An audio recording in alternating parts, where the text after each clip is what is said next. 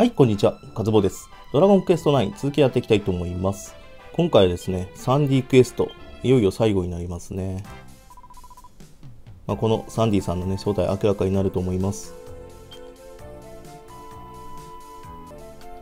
はい、150。天の箱舟の3両目でサンディが助けを求めているようだ。果たして、どんな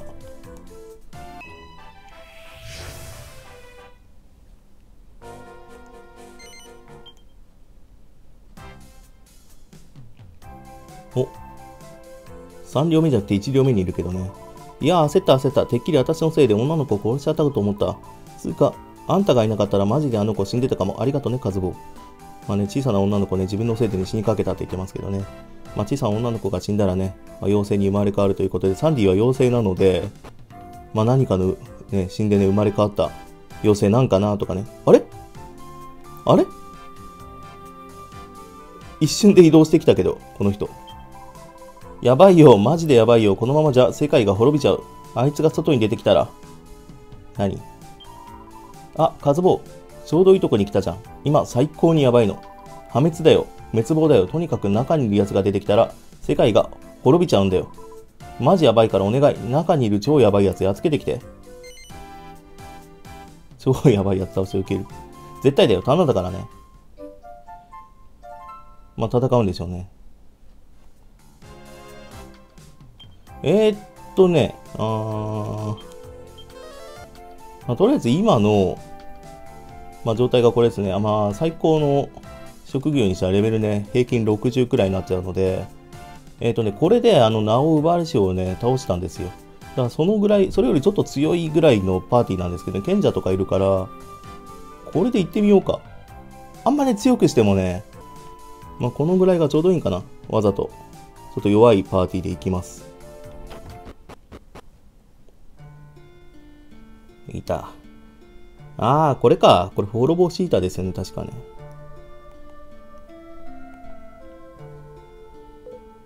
くくくくく。フォロボサーンも、フォロボスも、フォロボセも、みんな倒し、魔空海はすでに我が物となった。フォロボ。次はこの世界だ。ねえ、たたえよ。気高き我が名を、フォロボシータ。恐怖と邪悪を示す名を。あー、なるほどね。まあ、フォロボシータっていうね、まあ、モンスターがね、いるのはね、記憶にあったんですけどね、どこにいたかなってずっと思ってたので、まあ、見た瞬間思い出したって話ですけどね。おや、かわいい子ネズミちゃん？はじめまして。クックック。美味しそうな子だね。私はよその世界から来たのさ。さあ、魔空に君臨せし女神、フォロボシータの最初の生贄におなりあー、来ましたね。これね、あの、ドラゴンクエストの派生版のテリーのワンダーランドってあるんですけど、3枠モンスターでね、いますね、これね。さて、これ見破らなくちゃいけないよね。えーと、見破らなくちゃいけないから、まあ、応援でいいか。とりあえずは。で、ここが、あ、ここはテンション貯めるでいい。貯めるで、ここが見破る。うん、何使っていくんだろう。マジックバリアとか。また作ると。呪文系だよな、どっちみち。でも攻撃もしてくる可能性あるからね、こういうのね。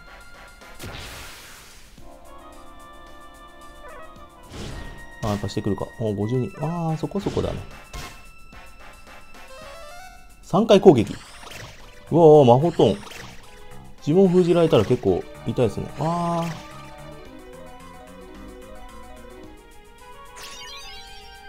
あ。なるほどね。賢者としては回復できなくなっちゃいますもんね、こうやってね。わかりました。えー、っと、じゃあ、盗賊、盗賊だけど、どうしようね。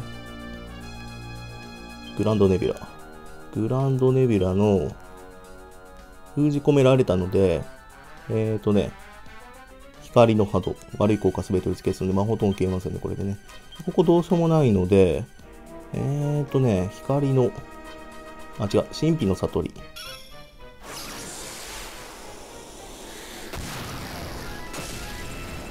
ああ、結構いくね。900とかいくわ。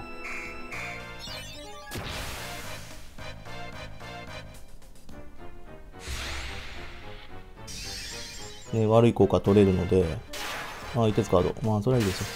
で、その後に神秘の悟り使うので、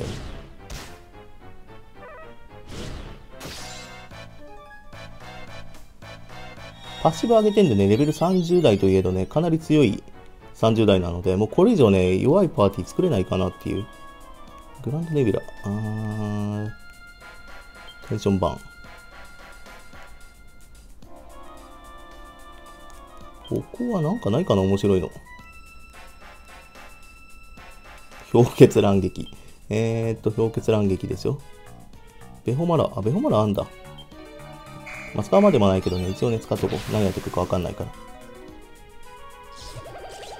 でも、いてつか波動やってくるもんね。だからこのテンションバーンとかも消えちゃうもんね。だ次攻撃した方がいいか。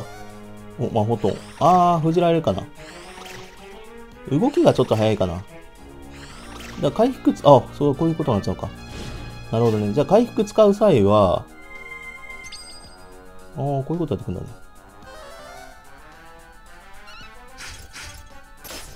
光の波動からの、ベホマラーでしょ。えっ、ー、と、応援でしょ。無心攻撃、え、ー、と、特技、光の波動。光の波動からのベホマラー。花子さんの方が早いから、OK。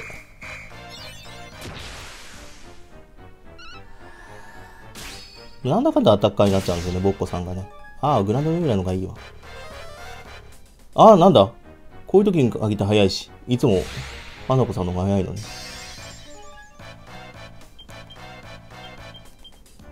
応援じゃ貯めるでいいか。貯める。光の波動、ベホマラ。またなんか魔法トンとかやってくるかもしれないからね。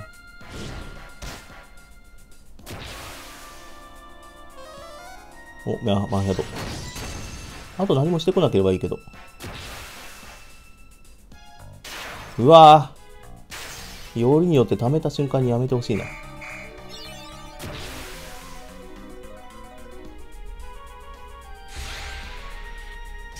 あれ、いくつか波動じゃなくてね、魔法トーンとかだったらね、この順番ね、ちょっとね、確実性がなくてね、結構ね、まあどっちかが早いとか決まってないような感じなので、今のところ。えー、っと、どうしようかな。戦いの歌あったな。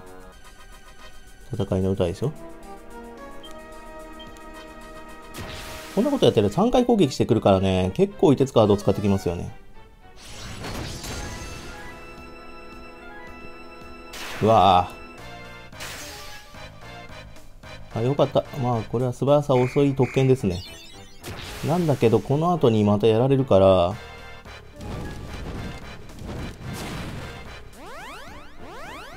全員で特攻するか。神秘の悟りでしょ？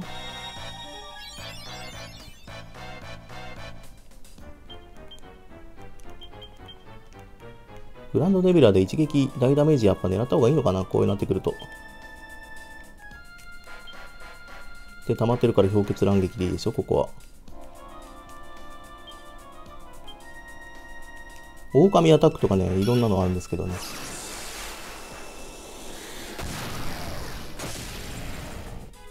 瞑想文は食らわしました、ね。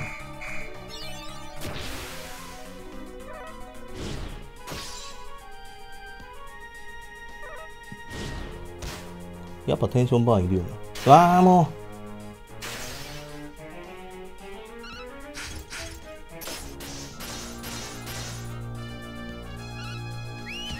う。まあ、倒せなくないけどね、ちょっと鬱陶しいですね。だからこれ、あの、最高のパーティーでやれば、結構もう楽ですけど、グランドネビュラ。戦いの歌、レオマラ。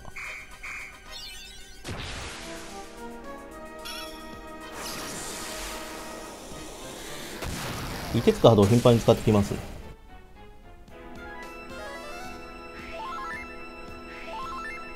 さすがにベホーミーとかだけじゃきついかもね。あのガンベクセンね、あの名を奪われし王より全然強いですね、これね。お、カウンター。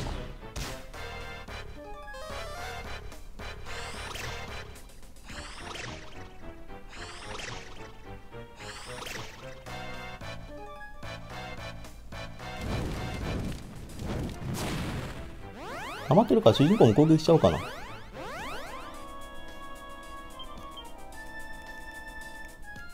扇の舞。やっぱグランドネイルは一番強いよな。光の波動を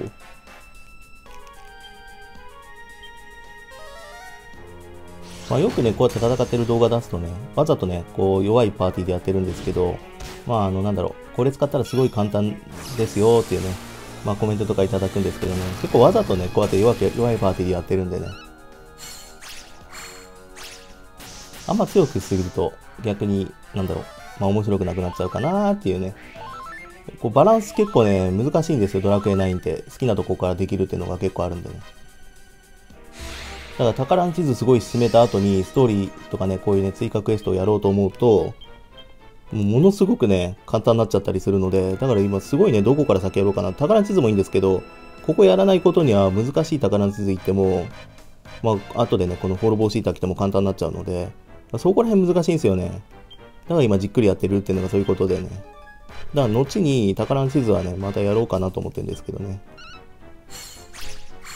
せっかく装備持ってていろんなの見たいんですよね。やっぱり、この総流打ちとかもそうですけど。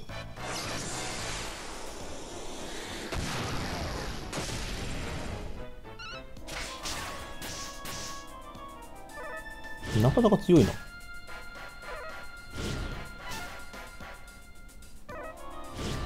3回攻撃はでも初かも。うん、弱いな、これな。怒り狂ってる。お、いいね。怒り狂ってんだったら逆にいいかも。扇の舞、グランドネビュラ、えーと、戦いの歌やって、自分、ベホマラ。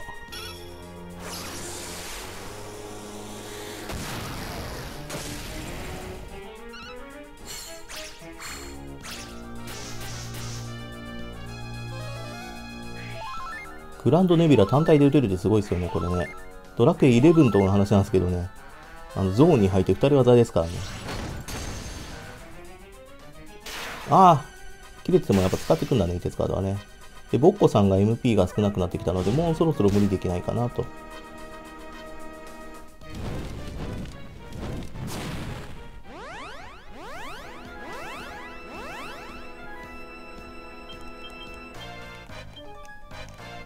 まあいろいろあるからね。死んだ万象山とかね。戦いの歌、作ると。まあ、鉄カードやられて意味ないけどね。2回攻撃して最後なんか使ってくるよね、結構ね。お !3 回攻撃。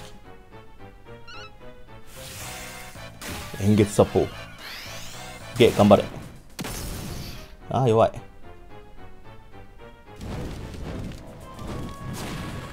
ああ、MP パサーかな、そしたら。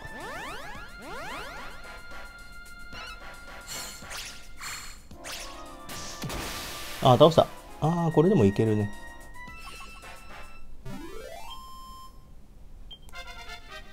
いいね。低レベルの主人公とか上がるんで。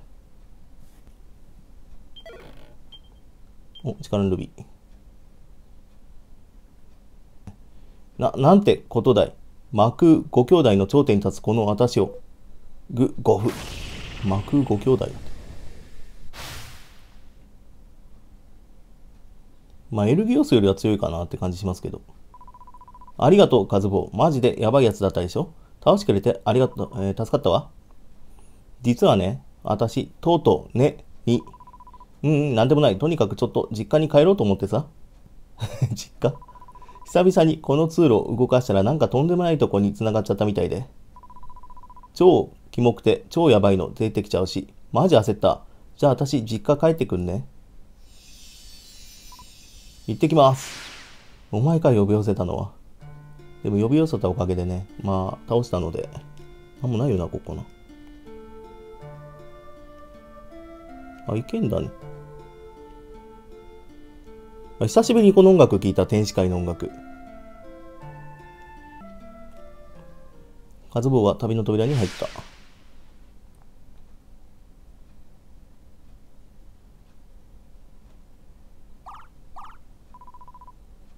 聞いて聞いてお姉ちゃん。私とうとうね、に、ネイルアーティスト検定に合格したの。まあ、おめでとうサンディ。あなたの長年の夢でしたものね。なんだとセレシアがいる。セレシア、お姉ちゃんなの？天の箱舟でバイトしたり、いろいろ寄り道したけど、とうとう私やったよ。で、カズボ、いつから聞いてたの？あのね、カズボ。いつかあんたに言いかけて最後まで言えなかったこと、私の秘密今度こそ教えてあげる。私ね、ずっとネイルアーティストになりたかったの。子供の頃からの夢だったの。バイトが楽しくてずっと夢にチャレンジしなかったんだけど、店長にも怒られたし。それに、あんたの頑張ってるとこ見て、私も本気出さなきゃって、そう思って頑張ったんだ。何よ、お祝いのセリフぐらい言えないの？せっかく私合格したのに。カズボーの白状者。もう逃げ場はないぜ。ごめんなさいね、カズボー。けれど、サンディは誰よりもあなたに祝福してほしかったのですよ。かつて太古の昔、創造神グランゼニス、我が父は、私を作り、それから人間界や天使界、動物や人間や天使たちを作りました。私にとって人間も天使もみんな弟であり妹のようなものです。カズボウ、私の妹サンディのことどうぞよろしくお願いしますね。セリシャさんそこにいたのか？まあ、滅ぼし板はね、まあ、倒し方もあるんですけどね。一言ぐらいお祝い言ってくれたっていいじゃない。カズボって冷たすぎ。まあいろいろあったからね。ん何？私がセレシアお姉ちゃんの妹なのかは本当かって？そんなの本当に決まってんじゃん。何よその不満そうな顔。妹じゃなかったら何だって言うの？あ小さい頃死んだ女の子が妖精になったんじゃないかって？なんで？私生きてんじゃん。何よまだあるの？怒んないから言ってごらん。はサンドネラ何それ？新しいスイーツの名前？うーん、女の人の名前なんだ。つうかサンディとかって呼び方よくあるからね。同じ名前の子いっぱいいるし。何よ。あんたが悩んでるのか？よくわかんないけど私はセレシアお姉ちゃんの妹サンディ。これ以上疑う気ならもう口聞いてあげないからね。あ、そうだ忘れてた。あの強くて怖いやつ倒してくれてありがとう。これ俺ね。お、ギャルのコサージュ手に入れた。まあ、あいつ倒してくれたから、今の失言失礼な発言は許してあげる。カズボお疲れ。失言な発言ね。失礼な発言ね。まあ、全然関係なかったって話だね。そのね、サンドネラとね、サンディがね、店長にも報告してこよっと。お、サンディクエスト終わり。ということでね、今一番気になってるものが、ようやくやっぱ入ったかなと。このね、さすがにかわいそうですよね。花子さん。荒くれマスク卒業です。はい、来た。おまあ、ごめんね、今まで暑苦しくてね。暑苦しいものの中身がこれですからね。ってことは棒もね、ちょっとかわいそうだからね。えーとね、ギャルでしょ？ギャルに風神の盾。ちょっと待って。ギャルに似合う盾。わからん。キャットガーター。えーと、武器は、棒、今なんだろう？職業。魔法戦士か。魔法戦士。メインやりだからな、この人。えーと、ハルベルトだったっけな。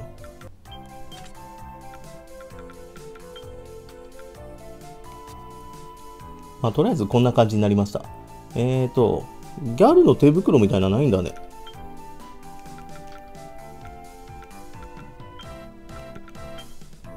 多分ピンク色とかにしたらいいんでしょうけどね。まあ、貴婦人の手袋一番似合うのかな。まあ、豪傑ですけどね。はい、ということで、今までね、進んできたものがね、最後繋がるのかと思いきやね、全然違う話だったっていうね、たまたまサンディ関連の時にね、サンディっていう人がいたってだけの話ですね。私とセレシアお姉ちゃんそっくりだったでしょ？お姉ちゃんも日焼けサロン卒業してから美白になったよね。日焼けサロン行ってたの？セレシアって。そっちの秘密の方が驚きだわ。お前、カデスの星の誇りだ。その運転免許大切にしろ。カデスの星に壊れ。ああ、なるほどね うん。まあ、今回はね、わりかし早かったかな。なので、まあ、セーブしてないので、メインパーティーでやったらどうなるか一回やってみたいですよね。でも、そうする、ああ、そうしようか。ってのが、あの、次回のクエストが、もうストーリークエストがね、またね、しばらくないので、ここのね、56、57までないんですよ。戦闘車に城かまてルイダが助けを求めているようだまでが、もうね、なんだろう、別にいつクリアしてもいいようなクエストなので、こう155はね、知ってるんですよ。これは話しただけでもクリアできるので、うーん、まあ普通の職業に戻ってもいいかな。ということで。はい、ということで。ああ、天使界の音楽だね。まあ、メインパーティーで来ましたけど。まあ、どのぐらい違うんかなと。まあ、先ほどと一緒なんでね、ここはね。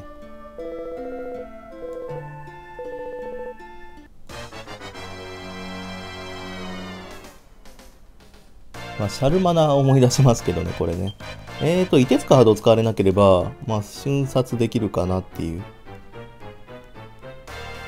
応援でしょ？あー、どっちかがテンションバーの方がいいのかな？テンションバーン、見破るってやってね、まだ説明読んでなかったので、えーと、見破るでしょ？で、呪文で、バイキルと。凍てつカードを使わなければこれで OK。で、3回攻撃がね、ポッコさんに当たってくれればね、なお一層 OK なんですけどね。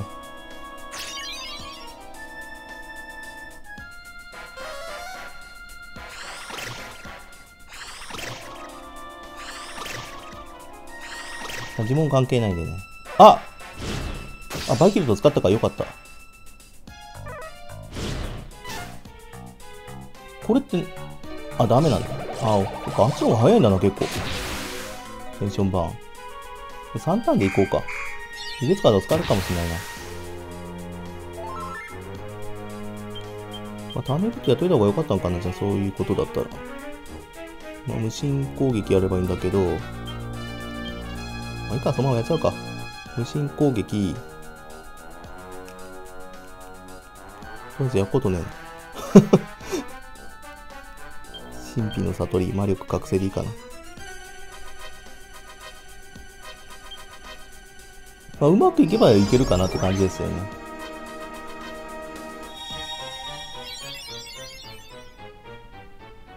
あ、魔法トン食らってんじゃん。忘れてたわ。あ、これ来るか、い鉄カード。だか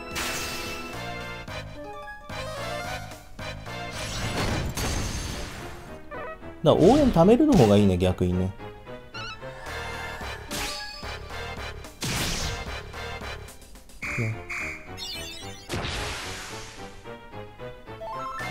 ってことは、ピュールに使えばいいんだ。ああ、なるほどね。まあ、戦い方的に、今、あの、まあ、パッと見ね、分かったんですけど、魔法使いがね、早いんでね、ピオリムとか使って素早さ上げれば、まあ、次のね、ターンでね、先に攻撃できるかなと。で、応援貯めるの方がいいかも。応援貯めるってやって、で、また次応援と同時に、あ、またこう、めんどくさいな。こうなりますんで、あとバイキルトかければいいか。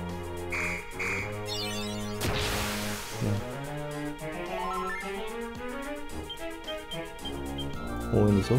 えー、っと、50枚なかなか試させてくんないので、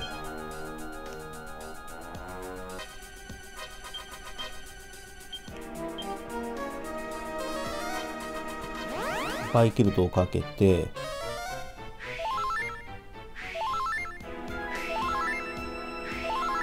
だ要はピオリムかけて応援貯めるってやってまず溜まりますので、一決カード使ってこなかったら、あのピオリムがかかってるので、先にボッコさんが動けるので、その後ね、わあバイキルトかければ、あの攻撃力高い状態で、まあ、今このテンション切れましたけど、これの大ダメージがいくので、まあ、それプラスまでですね。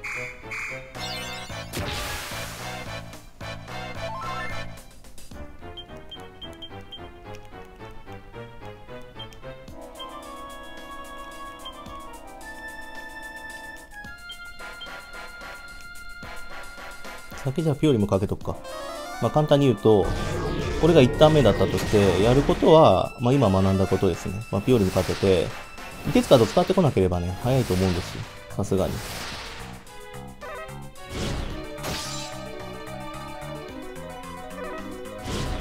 案外でかいくせに素早さ高いんだなと思って。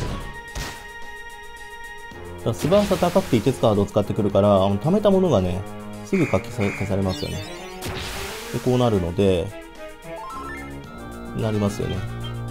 で、応援、えっ、ー、と、無心攻撃、ヨナズンでもいいや。で、ここがバイキルとかければ、あの、ボッコさんよりね、早いんで、モモコさんは。だから全員でモモコさんぐらいのスピードがあれば、いいんですよね。そのまま、あっちより速いと思うんだけど。ね。おお。で、うまくいけばこれ2ターン目でいけるってことですよね。で、応援がかかってるので、あとボッコさん攻撃すればいけるってことか。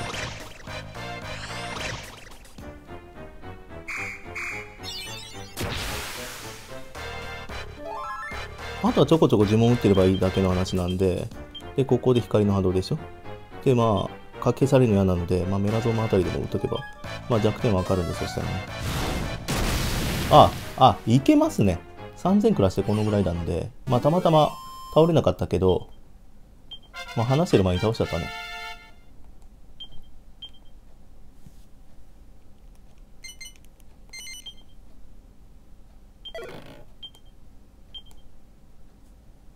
何回も戦ってるとね、やっぱ攻略法見えてきますよね。まあ、次やったらもっと楽にいけますね。はい、ということでね、フォロボーシータですね。まあ、フォロボーシータの次がハテナって書いてるんで、もう1体ぐらいボスがいて、あとはもう宝の地図関連なんで、まあ、これはまた出てきた時紹介していこうと思います。とりあえずここまで倒したらね、今までのね、ボスね、えーと、どこでもかりましたこブル動画からね、全然紹介してなかったので、まあ、これも話しながらやっていこうかなと思います。えーと、とりあえず今回滅ぼしていたですね。別の宇宙から現れた恐ろしい破壊の女神。ああ、大、大南宇宙かな 指一本で大陸を灰にしてしまうという。もうすごいな。本当に大南宇宙から来たんだ、これ。魔空五兄弟の長女。兄であるフォロボサーンや弟のフォロボセ、フォロボストを倒し人間界にやってきた。なんだそれ 主な生息地、天の箱舟ってね。やばいね、これもね。これ間違い4万5000だろ間違いなくこれ、ねこのギャングアニマルですらこのエルギオスより強いんじゃないかな。ね。ここら辺からの追加クエストなんで、追加クエストで5体ボスいいんだね。まあ、ここもいずれ出てくるでしょうから、まだ先ですね。出てきた時にやろうかなと思います。あと魔王とかもね、全然ね、ドルマゲスとかまでいましたけど、これも見破ってないんでね、またね、違うパートでやろうかなと思うんですけどね。ですね、こんなもんですね。31匹か。よし。ということで今回ね、フォロボシータでした。まあ、フォロボと名の付くものなのでね、まあ似たようなのまだいるでしょうからね。まあ、出てきた時のお楽しみですね。ということで、じっくりね、またね、やっていきたいと思います。残りクエストあと30個ぐらいなので、まあ、それもね、まあ、ちょこちょこちょこちょこ更新していければいいかなと思います。まあ、全部終わったからといってね、まだね、魔王もいますし、宝の地図もね、全然終わってないですし、装備もね、まあ、最強装備までやろうかなと思ってるので、あとね、もう全部のモンスターを埋めて、全部ね、説明2ページ目まで読めれば、まあ、とりあえず満足かなと、そこまでやろうと思うので、絶対ね、パート100超えるので、150くらいなんじゃないかな。まあ、今まででなんか一番長いパートになりそうですけどね。一番長かったのがね、ジョーカー3なんですよ。221パートぐらいまでやったんですけどね。なんですけど、あの本編がね、あれ確か30パートぐらいしかなくて、あと全部対戦でやってたので、まあそれ考えるとドラクエ9ってね、遊べるって話ですよね。まあこんな感じでね。すごいね、いつ終わるかわからないので、まあ早く終わらそうってきないんでね。だからこれをやって、他のゲームをやったりもしますので、なんでこれはね、あの、合間合間にね、ちょこちょこやっていけばいいかなと思います。まあ、ジョーカー2プロフェッショナルもやってるんでね、まあ、あれの方が先終わるんじゃないでしょうかね。あれもモンスター集めてるのでね、まあ今2つやってて結構ね、やり込めるゲーム2つやってるので、他のゲーム手出してないですけど、まあ楽になってきたらね、まあ違うゲームをやりたいなと、あとスーファミとかもやりたいんでね、結構いろんなハード持ってるので、まあいろんなね、ゲームやろうと思ってチャンネル作ったっていうのもありますドラクエだけじゃないんでね。だから他のゲームやったからといってね、ドラクエやらないってわけでもないので、かといってね、ドラクエだけやるってわけでもないし、そのゲームだけやるってわけでもないので、まあ、やりたいものをね、好きな時間にね、まあ、好きなようにやってるチャンネルなので、まあ、よろしくお願いいたします。よろしければグッドボタン、チャンネル登録、Twitter フォローなんかしていただけるとすごく嬉しいです。ご視聴いただきありがとうございます。次の動画でお会いしましょう。